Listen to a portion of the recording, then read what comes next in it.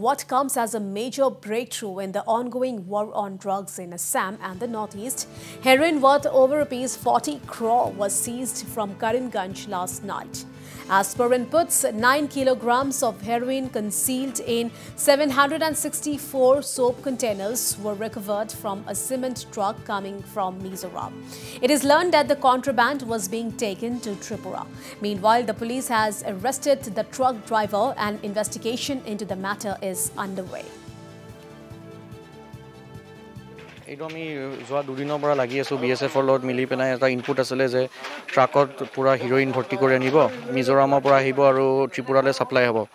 তো দুদিনৰ পৰা আমি ট্ৰাকখনক ট্ৰেক কৰি আছিলোঁ আৰু আজি ৰাতি এঘাৰটা চাৰে এঘাৰটাৰ মাজত এজন কম্বাইন অপাৰেশ্যন আমি কৰিলোঁ বি এছ এফ ইণ্টেলিজেঞ্চ ব্ৰাঞ্চৰ লগত। আৰু কৰিমগঞ্জ বাইপাছৰ পৰা আমি এখন ট্ৰাক ডিটেইন কৰিলোঁ লগত এজন ড্ৰাইভাৰ আছিল পাথাৰকান্দিৰ।